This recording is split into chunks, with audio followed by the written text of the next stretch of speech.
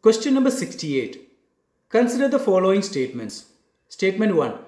Between 3.16 pm and 3.17 pm, both hour hand and minute hand coincide. Statement 2. Between 4.58 pm and 4.59 pm, both minute hand and second hand coincide. Which of the above statements is or are correct? Consider the statement 1. Between 3.16 pm and 3.17 pm, both hour hand and minute hand coincide. When both hour hand and minute hand coincide, the angle between them equal to 0. We know to find the angle between hour hand and minute hand, the equation is theta equal to 11 divided by 2 into x minus h into 30 where theta is the angle between hour hand and minute hand. 11 by 2 means relative angular movement of minute hand and hour hand for each minute.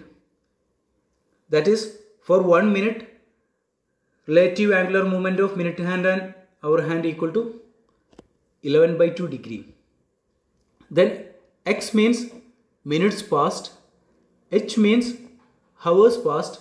Here we want to find when both hour hand and minute hand coincide after 3 o'clock. Therefore h equal to 3 then 30 means for each hour have an hour, uh, hour hand move by 30 degree. Then when both hand coincide both hands coincide. Theta equal to 0 then 11 by 2 into here we want to find minutes passed. Then h equal to 3 into 30 rearranging this we get 11 by 2 x equal to 90 degree. X equal to 180 divided by 11 this is equal to 16.36 minutes this is equal to between 3.16 pm and 3.17 pm both hour hand and minute hand coincide. Statement 1 is correct. Now see the statement 2 between 4.58 pm and 4.59 pm both minute hand and second hand coincide.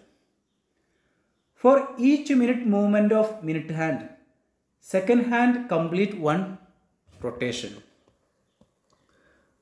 for each movement each minute movement of minute hand. Second hand complete one rotation. Therefore they will definitely coincide each other. Statement 2 also correct. Therefore the answer is both 1 and 2 are correct